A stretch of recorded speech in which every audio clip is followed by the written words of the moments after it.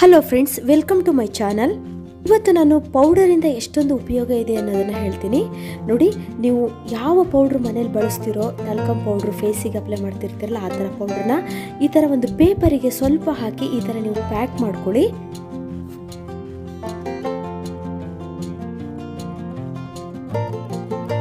ಇದನ್ನು ನೀವು ಹಳೆಯ ರೇಷ್ಮೆ ಸೀರೆಗಳಿರುತ್ತಲ್ಲ, ಇಲ್ಲ ಹೊಸ ರೇಷ್ಮೆ ಸೀರೆ ಆದರೂ ಪರವಾಗಿಲ್ಲ, ಅದರೊಳಗಡೆ ನೀವು ಈ ಥರ ಪ್ಯಾಕೆಟ್ಗಳನ್ನು ಇಡುವುದರಿಂದ ರೇಷ್ಮೆ ಸೀರೆ ತುಂಬ ಚೆನ್ನಾಗಿ ಘಮಘಮ ಅನ್ನತ್ತೆ ಒಂಥರ ಮುಗ್ಲು ವಾಸನೆ ಬರ್ತಿರುತ್ತಲ್ಲ ಮುಗ್ಲು ಸ್ಮೆಲ್ ಅಂತೀವಿ.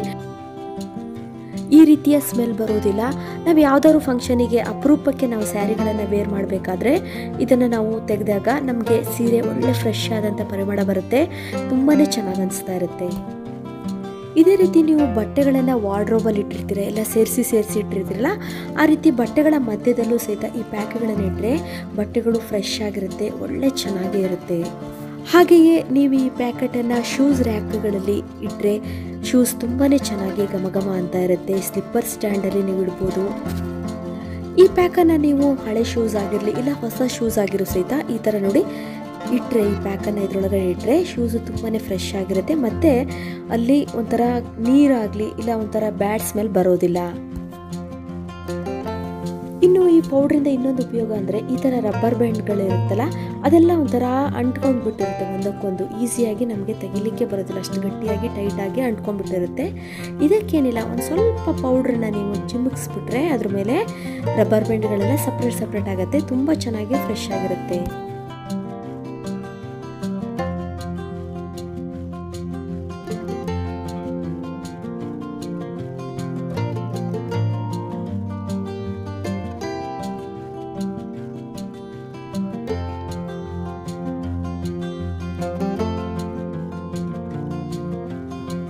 ಸ್ಯಾರಿ ಪಿನ್, ಸೇಫ್ಟಿ ಪಿನ್ ಅಂತ ಹೇಳ್ತೀವಲ್ಲ, ಇವನ್ನೆಲ್ಲ ನಾವು ಇಟ್ಟಾಗ ಅದು ಸ್ವಲ್ಪ ದಿವಸ ಇಟ್ಟ ಮೇಲೆ ಅದೊಂಥರ ತುಕ್ಕು ಹಿಡಿಯುತ್ತೆ. ಅದಕ್ಕೆ ನಾವು ಇದಕ್ಕೆ ಈ ರೀತಿ ಪೌಡ್ರನ್ನು ಒಂದು ಸ್ವಲ್ಪ ಹಾಕ್ಬಿಟ್ಟು ಇಟ್ಬಿಟ್ರೆ ತುಂಬ ಚೆನ್ನಾಗಿರುತ್ತೆ. ತುಂಬ ದಿವಸದವರೆಗೂ ವರ್ಷಗಟ್ಟಲೆ ಆದರೂ ಪಿನ್ಗಳು ರೆಸ್ಟ್ ಹಿಡಿಯೋದಾಗಲಿ, ತುಕ್ಕು ಹಿಡಿಯೋದಾಗಲಿ ಆಗೋದಿಲ್ಲ. ತುಂಬ ಚೆನ್ನಾಗಿ ಫ್ರೆಶ್ ಆಗಿ ನೀವು ಫಸ್ಟ್ ಹೊಸ ಪಿನ್ಗಳು ಹೇಗಿರುತ್ತೋ ಹಾಗೆ ಇರುತ್ತೆ. ನೋಡಿ, ಈ ಥರ ಕ್ಲೋಸ್ ಮಾಡಿ ಇಟ್ಬಿಟ್ರೆ ಆಯಿತು. ಪೌಡ್ರು ಇನ್ನೊಂದಕ್ಕೆ ತುಂಬ ಉಪಯೋಗ ಅಂತ ಅಂದರೆ ಸಾಕ್ಸ್ಗಳಿಗೆ. ಇವಾಗ ನಾವು ಎಷ್ಟೇ ಸಾಕ್ಸನ್ನು ಒಗೆದಿಟ್ಟರು ಒಂಥರ ಸ್ಮೆಲ್ ಬರ್ತಾ ಇರುತ್ತೆ. ಸ್ವಲ್ಪ ಪೌಡ್ರು ಈ ಸಾಕ್ಸ್ ಮೇಲೆ ಉದುರಿಸಿದ್ರೆ ತುಂಬ ಚೆನ್ನಾಗಿ ಫ್ರೆಶ್ ಅನಿಸುತ್ತೆ. ಇನ್ನು ಕೆಲವರಿಗೆ ತುಂಬ ಕಾಲು ಬೆವರುತ್ತಾ ಇರುತ್ತೆ. ಅದರಲ್ಲೂ ಬೇಸಿಗೆ ಕಾಲದಲ್ಲಂತೂ ಎಲ್ಲರಿಗೂ ಕಾಲು ಬೆವರುತ್ತೆ ಸಾಕ್ಸ್ ಹಾಕೊಂಡಾಗ. ನೋಡಿ, ಅವಾಗ ಏನು ಮಾಡಬೇಕು? ಸಾಕ್ಸ್ ಹಾಕೋಕ್ಕಿಂತ ಮೊದಲು ಸಾಕ್ಸನ್ನು ನೀವು ಈ ಥರ ಓಪನ್ ಮಾಡಿಬಿಟ್ಟು ಸಾಕ್ಸ್ ಒಳಗಡೆ ಸ್ವಲ್ಪ ಪೌಡ್ರನ್ನ ಹಾಕಿ ಹೀಗೆ ನೀವು ಪೌಡರ್ನ ಹಾಕಿ ಸಾಕ್ಸನ್ನು ಹಾಕ್ಕೊಂಡ್ರೆ ಕಾಲು ಒಂದು ವೇಳೆ ಬೆವರಿದ್ರು ಸಹಿತ ಪೌಡರ್ ಬೆವರನ್ನ ಅಬ್ಸರ್ವ್ ಮಾಡುತ್ತೆ. ಈ ಮೆಥಡನ್ನು ಸ್ಕೂಲಿಗೆ ಹೋಗೋ ಮಕ್ಕಳಿಗೂ ನೀವು ಫಾಲೋ ಮಾಡ್ಬೋದು. ನೋಡಿ, ನೀವು ಸಾಕ್ಸನ್ನು ಒಗೆದ ಮೇಲೆ ವಾಶ್ ಮಾಡಿದ ಮೇಲೆ ಈ ರೀತಿ ಸ್ವಲ್ಪ ಪೌಡ್ರ್ ಹಾಕಿ ಸಾಕ್ಸನ್ನು ನೀವು ಇಟ್ಬಿಟ್ರೆ ಫ್ರೆಶ್ ಅನಿಸುತ್ತೆ.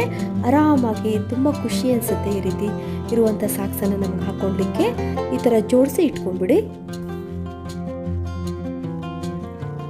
ಇವಾಗ ಇನ್ನೊಂದು ಮೆಥಡಲ್ಲಿ ನಾವು ಪೌಡ್ರನ್ನ ಬಳಸ್ಬೋದು. ಒಂದು ಗ್ಲಾಸ್ ನೀರನ್ನು ಕುದಿಲಿಕ್ಕೆ ಇಟ್ಕೊಳ್ಳಿ. ಅದಕ್ಕೆ ಸ್ವಲ್ಪ ಪೌಡ್ರನ್ನ ಹಾಕೋಬೇಕು ಇವಾಗ ನೋಡಿ ನೀರು ಕುದೀತಾ ಇದೆಯಲ್ವಾ? ಸ್ವಲ್ಪ ನೀರು ಕುದಿಯೋ ಟೈಮಲ್ಲಿ ನೀವು ಯಾವುದು ಡೈಲಿ ಪೌಡ್ರನ್ನ ಉಪಯೋಗಿಸ್ತೀರೋ ಆ ಪೌಡ್ರನ್ನ ಹಾಕಿ ನಾನಿಲ್ಲಿ ಪಾಂಡ್ಸ್ ಪೌಡ್ರನ್ನ ಹಾಕ್ತೀನಿ.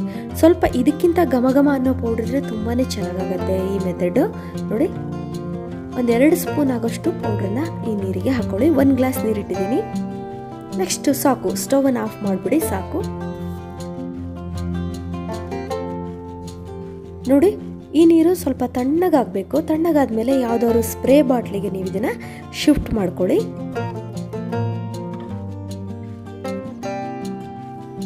ನೀವು ಒಂದ್ಸಲ ಈ ಥರ ಸ್ಪ್ರೇ ಬಾಟ್ಲಿಗೆ ಹಾಕಿಟ್ಕೊಂಡ್ರೆ ನೀವು ವಾರಗಟ್ಟಲೆ ಇದನ್ನು ಬಳಸ್ಬೋದು. ಎಲ್ಲೆಲ್ಲಿ ನಿಮಗೆ ಒಂದು ವೇಳೆ ಟಿ ವಿ ಹತ್ರ ಸ್ಮೆಲ್ ಬರ್ತಾ ಇದ್ದರೆ ಅಲ್ಲಿ ನೀವು ಇದನ್ನು ಸ್ಪ್ರೇ ಮಾಡ್ಕೋಬೋದು.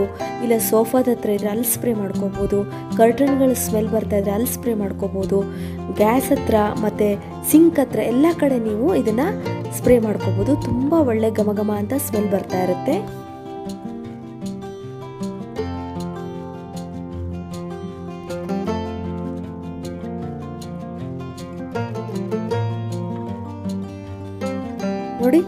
ಇದನ್ನು ಫಿಲ್ ಮಾಡ್ಕೊಳ್ಳಿ ಎಷ್ಟೊಳ್ಳೆ ರೂಮ್ ಫ್ರೆಶ್ನರ್ ಆಗು ನಾವು ಇದನ್ನು ಯೂಸ್ ಮಾಡ್ಬೋದು. ನೋಡಿ ನಿಮ್ಗೆ ತೋರಿಸ್ತೀನಿ ಕರ್ಟನಿಗೆ ನೀವು ಈ ರೀತಿ ಸ್ಪ್ರೇ ಮಾಡ್ಬೋದು.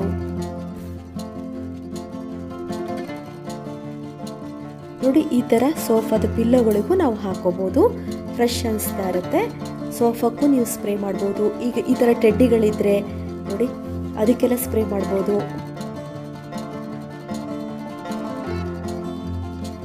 ಮತ್ತು ಈ ಥರ ಚೇರ್ಗಳಿಗೆಲ್ಲ ನೀವು ಸ್ಪ್ರೇ ಮಾಡ್ಬೋದು. ನೋಡಿ, ಬ್ಯಾಗನ್ನು ನಾವು ತುಂಬ ದಿವಸ ಇಟ್ಟಾಗ ಒಂಥರ ಬ್ಯಾಡ್ ಸ್ಮೆಲ್ ಬರ್ಲಿಕ್ಕೆ ಸ್ಟಾರ್ಟ್ ಆಗುತ್ತೆ. ಇದು ಬರ್ಲಿಕ್ಕೆ ಏನು ಕಾರಣ? ಅಂದರೆ ಒಂಥರ ಹಸಿ ಇರುತ್ತಲ್ಲ, ಅಲ್ಲಿ ಫಂಗಸ್ ಫಾರ್ಮೇಷನ್ ಆಗುತ್ತೆ. ಆವಾಗ ಈಗ ಆಗಬಾರ್ದು ಅಂದರೆ ನಾವೇನು ಮಾಡಬೇಕು ಅಂತ ಅಂದರೆ ಪೌಡ್ರನ್ನೇ ನಾವು ಯೂಸ್ ಮಾಡಬೇಕು. ತುಂಬ ಒಳ್ಳೆ ರಿಸಲ್ಟ್ ಸಿಗುತ್ತೆ. ನೋಡಿ, ಈ ಥರ ಬ್ಯಾಗನ್ನು ನೀವು ಓಪನ್ ಮಾಡಿಬಿಟ್ಟು, ಯಾವುದೇ ಪರ್ಸ್ ಆಗಲಿ ಬ್ಯಾಗ್ ಆಗಲಿ, ಸ್ವಲ್ಪ ಪೌಡ್ರನ್ನ ಹಾಕಿಟ್ರೆ ಅಲ್ಲಿ ಹಸಿ ಹಸಿ ಅನಿಸೋದಿಲ್ಲ. ನೋಡಿ ಆ ಹಸಿನ ಈ ಪೌಡರ್ ಅಬ್ಸರ್ವ್ ಮಾಡುತ್ತೆ. ಆವಾಗ ಫಂಗಸ್ ಫಾರ್ಮೇಷನ್ ಆಗೋದನ್ನು ಇದು ತಡೆಗಟ್ಟುತ್ತೆ. ಬ್ಯಾಗ್ ತುಂಬಾ ಫ್ರೆಶ್ ಆಗಿರುತ್ತೆ. ಜೊತೆಗೆ ನಿಮಗೆ ಒಳ್ಳೆ ಸ್ಮೆಲ್ ಸಹಿತ ಇರುತ್ತೆ. ಫ್ರೆಂಡ್ಸ್ ನನಗೆ ಇಷ್ಟು ತಿಳಿದಿದ್ದು ನಿಮಗೆ ಹೇಳ್ತಾ ಇದ್ದೀನಿ. ಪೌಡರಿಂದ ಇನ್ನೂ ಏನೇನು ಉಪಯೋಗ ಇದೆ ಅನ್ನೋದನ್ನು ನೀವು ನನಗೆ ಕಾಮೆಂಟ್ಸಲ್ಲಿ ತಿಳಿಸಿ. ಇದುವರೆಗೂ ನನ್ನ ವಿಡಿಯೋ ನೋಡೋದಕ್ಕೆ ನಿಮಗೆಲ್ಲರಿಗೂ ಧನ್ಯವಾದಗಳು. ಯಾರು ನನ್ನ ಚಾನಲ್ನ ಇನ್ನೂ ಸಬ್ಸ್ಕ್ರೈಬ್ ಮಾಡದೆ ನೋಡ್ತಾ ಇದ್ದೀರಾ, ಅವ್ರು ನನ್ನ ಚಾನಲ್ನ ಸಬ್ಸ್ಕ್ರೈಬ್ ಮಾಡಿಕೊಡಿ. ಯಾಕಂದರೆ ನಾನು ರಿಲೀಸ್ ಮಾಡಿದಂಥ ವೀಡಿಯೋಗಳ ನೋಟಿಫಿಕೇಶನ್ ನಿಮಗೆ ಫಸ್ಟ್ ತಲುಪತ್ತೆ. ಮತ್ತು ಈ ವಿಡಿಯೋ ಇಷ್ಟ ಆಗಿದ್ದಕ್ಕೋಸ್ಕರ ಒಂದು ಲೈಕ್ ಕೊಡೋದಂತೂ ಮರಿಲೇಬೇಡಿ ಫ್ರೆಂಡ್ಸ್ ನಾಳೆ ಭೇಟಿಯಾಗೋಣ ಹೊಸದೊಂದು ವಿಡಿಯೋದೊಂದಿಗೆ. Till then be happy take care bye